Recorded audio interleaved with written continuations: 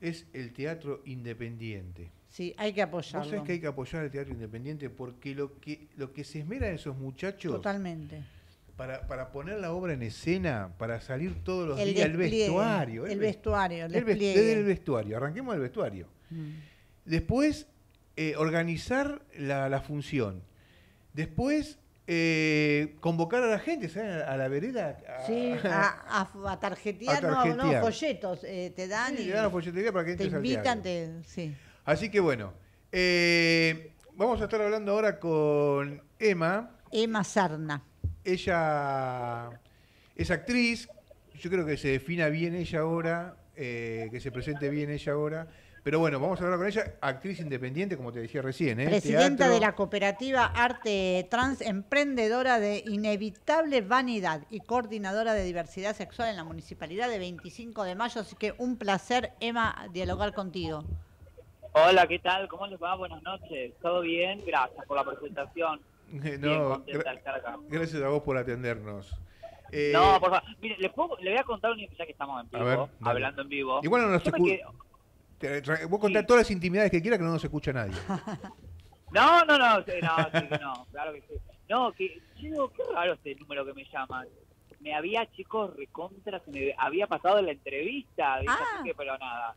Pero Estábamos igual estaba con Marta tranquila. González en el primer bloque, eh, Sí, no, pero una sabía grosa. todo. Aparte, hoy, hoy, hoy estuve hablando con uno de los organizadores, divino y todo, y dije, sí, perfecto, no hay ningún problema. Yo me senté a comer y viste que cuando una come Sí, se se olvida del mundo. Sí, sí, verdad. Es verdad. para que la gente vea que los pasa lo mismo que le pasa a todo el mundo. Pero no, igual la verdad que para mí es un placer que me hayan invitado y bueno, cuando me, dijeron estar en el programa, honradísima. Bueno. Así que muy contenta de estar con ustedes. La, nos está mirando todo el país, nos está escuchando el país por la M1220 y mirando todo el mundo por YouTube, así que tranquila, vos tranquila. Sí, está todo bien. Aparte Eh, estas cosas a la gente le gusta. ¿viste? Sí, le gusta, le la gusta. Le gusta, le gusta. Eh, bueno, más allá de, de como te presentó recién Silvana, digo, lo que yo estaba eh, hablando antes, que me, me gusta el teatro independiente. Y ustedes son formadores del teatro independiente, la, la reman desde hace mucho tiempo. Eh, ¿cómo, ¿Cómo se organiza el teatro independiente? ¿Cómo- ¿De dónde viene la plata del teatro independiente? ¿Cómo, ¿Cómo dicen, bueno, vamos a una vaquita, la pones vos y después te la devolvés? ¿Cómo es el teatro independiente? No, sí, es una inversión, ¿viste? Por lo general, este, en el modo, eh, con lo que es arte trans, sí, siempre hay como una inversión, eh, se junta capital, plata, vamos a decir la verdad. Sí. Ujú. Y como es, este, se alquila un espacio, se apuesta a eso, y siempre lo que es, por ejemplo, el teatro es un riesgo, ¿viste? Claro. Te puede ir Claro. bien, como te puede ir mal, como podés salvar todos los gastos, como por ahí de repente no. Eh, pero bueno, nada, siempre igual también lo que se cosechó muchos años, porque la cooperativa de arte, por ejemplo, tiene 13 años ya.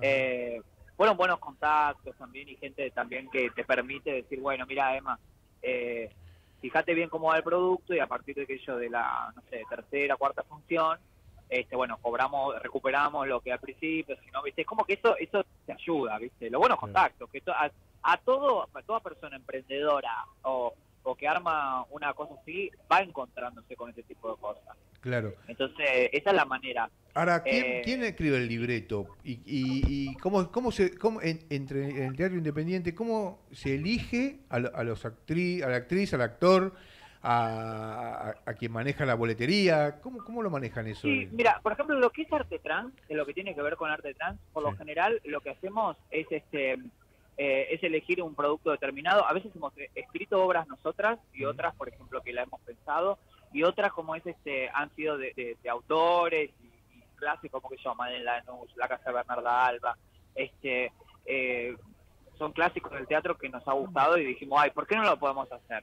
En el caso, por ejemplo, de Titánica, que es en realidad con arte trans hacemos una, un auspicio, como es este, y bueno, participo yo también, pero la idea, por ejemplo, ahí, creación pasa por eh, Ale Monforte, Dami Martín, que como es este, que ellos ya, bueno, a- es otro tipo de teatro, y ahí sí se ponen a pensar en cuadros, eh, Claro. porque como es una varieté, qué cuadro va a ser cada cual y demás, se organiza de esa manera, se eligen los musicales, cómo se va a llamar, etcétera, etcétera.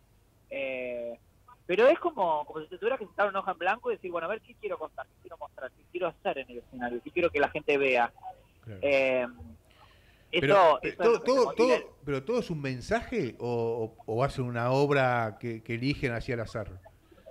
Pero es que todo, ¿qué, qué cosa no es un mensaje en la vida? Sí, Hasta el casi de un bar tiene un mensaje, ¿me entendés? Sí, Cuando verdad. la manera en que Pero- te lo sirven, cómo te lo dan, el papelito con el que está envuelto, todo tiene, todo tiene un pensamiento, nada, nada viene como es este de la nada en sí. Todo antes, No, primero pero fue una idea. claro, lo que, claro, bueno, la idea es la, la- la arman ustedes, y dicen, mira, nosotros queremos difundir esto, queremos que la gente conozca esto de nosotros, que somos los mejores en lo que hacemos y lo queremos difundir. O una obra al azar, eso es lo que yo me, me- más o menos me... No, nunca, no. La- la- mira, el que por ahí más o menos conoce cómo trabaja una artista, nunca como es este, no es, no es ay, qué aburrido, qué hago, voy a hacer teatro, qué hago, a ver, a ver el librito que tengo en la biblioteca, mira, este tiene lindo dibujito, bueno, este no, No, no seguro. para nada, para nada, no, tiene una profundidad. Esa parte con la- las ganas que una tiene ganas de, de- de, por ejemplo, de hacer. En Titánica, yo, por ejemplo, cuando dijeron, Emma, ¿vos qué cuadro sumarías a este espectáculo? Y bueno, a mí me gustaría hacer esto, me gustaría hacer lo otro, musical así o musical allá. O sea, tiene que haber como un deseo, ¿viste? Claro, claro. De- de- de cuando es algo así libre. Después cuando, cuando hay un director, por ejemplo en Arte Trans, a veces elegimos un director que te van a dirigir a un producto y dice, mira, yo tengo esta obra que hace mucho que quise hacer y tengo ganas de encontrar el elenco. Bueno, hacela con nosotras en Arte Trans. A- Acá hay, por ejemplo, un montón de chicas que están disponibles que tienen ganas de trabajar. Y Ah. elegí cuál da con el physique to roll, cuál te parece que para el personaje, sobre todo la casa de Bernarda Alba, que eran como 1500. ¿viste? Claro, claro, sí, Eh, sí, por sí. ejemplo, está la hermana mayor, la hermana menor, Sí. bueno, hay como, eh, hay como un roll también, y también el talento, pasa el talento que tenga y el compromiso que tiene cada una.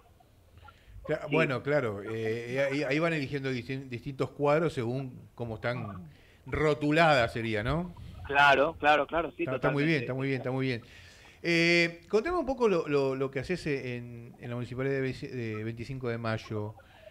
Bueno, yo, yo trabajo para género y diversidad. O sea, la Secretaría de Género y Diversidad, yo estoy más que nada en la parte que es diversidad. Este, bueno, estamos a cargo de un consultorio de salud integral para personas LGBT que, por ejemplo, necesitan de armonización. Eso la ley de identidad de género lo garantiza. Está en la ley contemplado, bueno, pero, viste, como todas las cosas, a veces pasan en, en cualquier lado, viste, no siempre se cumple. Bueno, 25 de mayo tenemos dos consultorios de salud integral, este, los talleres de formación en, en- como es este, en educación sexual integral, para que la gente conozca la cantidad de identidades de géneros y un montón de cosas que puede que, que hay en la vida y que como es este, la- y las protecciones que tienen que ver a la hora de los cuidados a la hora de una relación sexual, etcétera, etcétera, etcétera, pero siempre teniendo en cuenta la diversidad. Claro. Este, esto lo digo porque viste que hay gente que te dice, no, la ideología de género van a los colegios a enseñarle a hacer trans a los chicos. Eso es una ignorancia grande como una casa, chicos. Nadie le puede enseñar a otro a ser algo que no es. Claro. Eso lo digo yo, que soy una persona trans y toda la vida me educaron para ser varón y miren cómo terminé, chicos. Claro, claro, Claro. claro, sí, sí, sí, verdad. Nadie te puede decir, a vos te tiene que gustar tal cosa y por eso te va a gustar. No, eso es mentira. Este, bueno, talleres, como les dije. También hemos trabajado en la incorporación de otras personas trans al trabajo, porque como es este, porque el 25 de mayo se cumple el cupo laboral trans, que también es una ley que se sancionó en el Congreso. Este, y después acciones de visibilidad. Hay un montón de fechas, por ejemplo, durante el año que tienen que ver con, con el colectivo LGBT, que es el Día Internacional del Orgullo, el Día de la Visibilidad Lésbica, el 8M, este, el Día de la No Discriminación, el Día como es este, de la No Violencia. Bueno, y hacemos actividades que donde se visibilice nuestro trabajo Claro. con género y diversidad o, por ejemplo, con propuestas artísticas. Y ahí engancho mucho con cosas de arte trans también. Escúchame, que- Emma, ya que te tengo acá, te aprovecho. ¿Cómo, cómo toma la gente cuando ustedes eh, saben hacer, por ejemplo, eh, las Sí. marchas o, o- o llegan al teatro y, se encuentran con que la obra es todo de, de- de- de mujeres trans? Eh, ¿Cómo lo toma la gente mayor, que es la que más, viste, está reacia a todo esto? Y mira, no sé, yo verdaderamente creo que lo toma bien. No lo toman tan a mal. Habrá alguien que no le puede, puede no gustarle. Pero igual si vos ves una obra, vos ves la, la imagen de las chicas que está, dice Cooperativa Arte Trans o Auspicia Claro. Cooperativa Arte Trans. Ya saben lo que que van a ver, ¿viste? obviamente, claro. Claro, viste, es como que te tenés que dar como una idea, qué sé yo, Ujú. como que vos ves a Flor de la B en la revista de Buenos Aires y es obvio que vas a ver una chica trans, ¿entendés? Sí, sí, Es sí, como claro. que tenés un problemita con eso, viste, y No, viste que hay gente que no lo Pero acepta general- todavía. No, no, no, Claro, bueno, pero acá Sí, podés pero sí. optar en ir a ver el espectáculo o no. Mulo o no, claro, Claro. exactamente. Yo creo que como es este, que en gran mayoría bien, la, en gran mayoría bien, supongo que sí, viste. Eh, en los trabajos convencionales, como por ejemplo te decía el 5 de mayo, con el tema de las Mm. compañeras que entran por el cupo y todo, siempre existe como un cuestionamiento, sobre todo ahora que estamos en una época donde viste que todo lo estatal se, se lo cuestiona demasiado. Sí, es verdad, sí, es verdad. Entonces, eh, eh, con una exa- exacerbación, ¿viste? No sé por qué tenemos esa locura de querer borrar ahora el estado de todo. Cuando si le- viste que hay gente que se le puso en la cabeza que hay que, hay que sacar al estado de todo, ¿viste? Sí. Como si eso hubiera dado algún tipo de resultado bueno, ¿viste? Ya hemos, eh, tenemos la prueba de que pasó, por ejemplo, en los 90 y en el 2001 cuando el Estado desaparece de todo, ¿viste? Y queda todo en manos Bueno, no de la conveniencia no, del hubiesen, mercado. no hubiesen llegado a donde están hoy si Claro. sacamos el estado de No, todo. no hubiera sumado a eso. Mira, no solamente lo del cupón. O sea, No, de el DNI, nuestra. el DNI, el DNI, pero saliendo, por ejemplo, con lo que tenga que ver la comunidad LGBT, viste que yo, ¿no? A, a- a mucha gente le digo, no te hubieras vacunado si no hubiera sido porque, por el Estado, ¿me entendés? Este, entonces se necesita que cuando al mercado no le conviene, que puede ser lógico, el mercado hace lo que le conviene. Cuando es negocio está, cuando no es negocio se borra, ¿entendés? Bueno, para cuando se borra, se necesita que esté el Estado. Y con nosotras, las personas, por ejemplo, LGBT, eh, cuando te dicen, eh, pero ¿por qué tiene que haber un cupo? Y mi amor, a mí me encantaría que no sea necesario, ¿viste? Pero como se naturalmente no te contratan para trabajar. claro. Entonces, por eso se necesita una ley de cupo. Esto es bueno que la gente lo sepa o lo pueda entender, porque comúnmente estas preguntas surgen, a veces desde la ignorancia, a veces con maldad. Pero cuando es con la ignorancia, por ejemplo, de desconocer, es decirle, mira, se necesita un Estado presente porque naturalmente, por sí solo, no sucede. No, es verdad, no ¿Entendés? sucede. Sí, es verdad. Eh, pero ¿cómo? Pero si la gente ahora ve a Flor de la B en, en la tele le cae bien, o Alicia, pero eso son cosas puntuales. Después en la vida real, todavía las empresas, eh, un comerciante, un kiosquero de la esquina, todo- todavía ve una chica trans y tiene un millón de prejuicios con nosotros. Sí, es verdad, es verdad. Es verdad. Sí, claro. Y- Y y en algunas digo- y- profesiones también, todavía, en, en- viste, cuando vos, no sé, ¿Cómo, cómo, profesiones... cómo? En algunas profesiones también hay este tipo de, de que te quedas, ¿viste? Sí, es como que, bueno, tiene, a ver, el, el tema por ahí se hace- es largo, pero nosotros tenemos como un historial de, de, de una vida muy sexualizada porque porque fue el único, cuando no te dan trabajo por el rechazo y la vergüenza, lo único que le ha quedado a la comunidad trans, por ejemplo, es el trabajo sexual. Claro. Sépanlo eso también. La Sí, sí, está sí, parada seguro. en no es porque le guste, es porque Bueno, pero- realmente no le, no le ha quedado otra. Bajó, bajó con, con, con, con estas nuevas leyes y, y el cupo Sí, laboral. mejoró. ¿Bajó la prostitución? Bajó, bajó, estará la que lo hace porque le gusta y también es respetable. Claro, sí, sí, obvio, sí, obvio, totalmente. obvio. pero como es este, pero ya hay otra opo- otra opción. También es cierto que es una ley del año 2021, o sea, ¿qué quiere decir esto? Hacerla cumplir en todos los municipios de todo el país es un proceso, no es tan fácil Claro. tampoco, Sí, es no verdad. es tan fácil. No solo por los gobiernos, sino porque también la comunidad nuestra tiene, por ejemplo, la complejidad de que si una persona tiene, por ejemplo, 40 años y trabajó, qué sé yo, 30, 30 años, o 25 años de, el trabajo sexual, fue expulsada de su casa, no tuvo familia, desde la adolescencia que se prostituye, si sobrevivió a todas esas vejaciones, de repente, por ejemplo, insertarla al trabajo también es un proceso el cual el Estado, por ejemplo, eso lo digo en mi nombre, con, con Trabajo Género y Diversidad, hay que ser el puente, ¿viste? Ayudar Claro. que la persona se pueda instruir, saber lo importante de la responsabilidad. Me ha pasado muchas veces que, uy, pero este sueldo tan bajo, Es verdad eso. Eso, eso lo he me hubiera escuchado. quedado en la prostitución. sí, lo he escuchado. Y a veces yo, eh, por ejemplo, a muchas chicas digo, no, chicas, acéptenlo, porque ¿sabes qué pasa? El cuerpo el cuerpo es algo físico que un día se termina y, y la primero por empezar yo, a ver, eh, cada uno queda con su idea de lo que quiere. A mí me parece que la prostitución es algo ah, horroroso porque porque eso es como descartable, ¿viste? Ujú. Y estás expuesta a 20 millones de peligros, enfermedades, contagio, violencia, etcétera, etcétera. Entonces, como es este eh, lo importante de un trabajo es que vos el día de mañana, cuando te quieras retirar o lo que fuese, vas a tener aporte, vas a tener Sí, tenés sí. acceso a una tarjeta de crédito, eh, tenés acceso a la obra social si quieres ir al médico. Sí, Son sí, tenés mucho, hay, hay muchos beneficios, obviamente, que hay muchos beneficios. Por supuesto. Escuchame, que, bueno, que mejorar la eh, calidad de trabajo, pero bueno. Sí, no, Sí. Te, te- te- a ver, admiración y felicitaciones por lo que estás haciendo y lo que se está logrando. Me parece que es un Gracias. avance importante para, para toda una generación diferente, eh, para esta nueva generación que, que está cambiando muchos hábitos. Pero más allá de eso, quiero dar vuelta a la página y ya me queda poquito tiempo. Y te vi bailar en los corsos, ¿puede ser? Ay, sí, porque bueno, 25 de mayo tiene un carnaval muy importante. Bueno, mira, yo voy como voy, voy fluctuando entre las dos, cosas, entre la cosa por ahí más seria que el trabajo en la municipalidad, después en Arte Trans en Buenos Aires, y el 25 de mayo tiene un carnaval que es el más grande de la provincia. Eh, es muy parecido al de Gualeguaychú, es un corsódromo muy grande, este es del primer sábado de enero hasta el primer sábado de marzo, todos los sábados, incluyendo los periodos de carnaval cuando son, es toda una temporada. Bueno, traba- es una industria porque, por ejemplo, que yo, hay tres comparsas, 200 integrantes cada una, durante todo el año los talleres de confección trabajan en el diseño, hay diseñadores, escenógrafos, iluminadores que piensan un motivo diferente para su comparsa cada año. Y yo en ese carnaval estoy hace 20 años. Mira. A los 20 13. años, pero ¿qué quiero un bebé bailando? Eh, Yo empecé cuando, mira, eh, la, la- edad eh, para poder em- empezar es a los 13 años, así que saquen cuenta cuántos años tengo. ¿A los, a los 13 Pero años ya eras trans? Sí, eh, no, no, no, no, no, no era a los 13 años. eh, o sea, yo quería hacerlo, pero cuando empecé, empecé en un ballet, de un montón de mariquitas, y qué sé yo, ¿viste? después me di cuenta que, fue- que mi camino era otro. Fue muy, en gran parte en el carnaval donde me di cuenta lo que quería hacer. Era, era preadolescente, ¿viste? Eh, pero no, no, todavía no era trans, no, claramente. Eso fue un proceso también. Y nunca dejé, nunca dejé de hacerlo porque el carnaval me encanta, es divertido, Claro. como le conté, también es muy profesional, eso también me ayudó desde chica a tener como la disciplina de, de la responsabilidad. Este, no, no, es muy lindo. Yo invito a que todo el mundo, cuando pueda, en verano, en temporada, vaya, porque el Carnaval 25 es maravilloso. Bueno, igualmente cuando se acerquen los carnavales vamos a volver a hablar. Nos avisás y hacemos ahí una nota, pero ya toda producida, te queremos ver ya toda...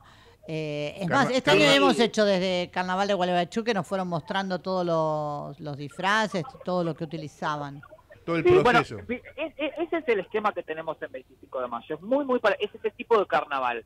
Eh, ah, están las tribunas, es privado, es cierto, se paga una entrada y todo lo demás, pero como es este, pero bueno, vive la ciudad con eso también, Claro. eh, durante el verano. Si bien es una ciudad de mucho agro y soja y toda esa historia, pero eh, se ha vuelto turística hace muchos años también, por eso el carnaval. la ¿A cuántos kilómetros está de la capital del obelisco precisamente? 252. Ah, mira. 252 kilómetros. Por ruta 51, este es una de las rutas que pueden ir.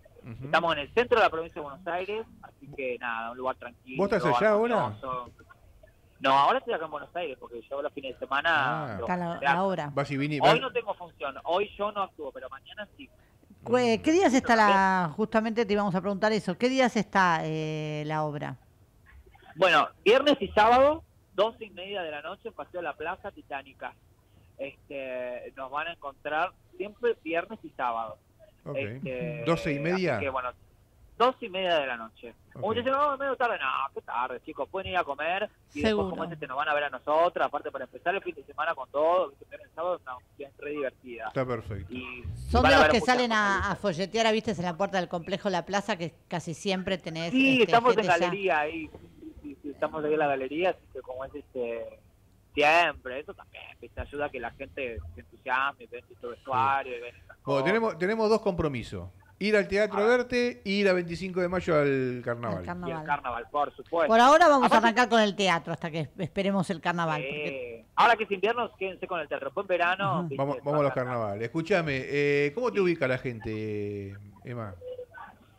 Eh, como Emma Serna, tanto en Facebook como en Instagram. En, ah, en Instagram estoy eh, Emma con doble M, punto Serna, punto uno. A ver si me pueden encontrar. Ok. Este, así que, bueno, y en, Facebook también, como Emma con dos M y Serna con S. Perfecto. Eh, y bueno, fue TikTok, pero yo no uso tanto TikTok y algunas Bueno, pero te van, te van siguiendo y te, van- te las vas llevando. Te agradezco Sí. mucho esta nota, te agradezco mucho haber pasado por Ecos en la noche, la verdad. Eh, me, me- me- interesa mucho meterme en el mundillo de- del teatro independiente, como te dije al principio.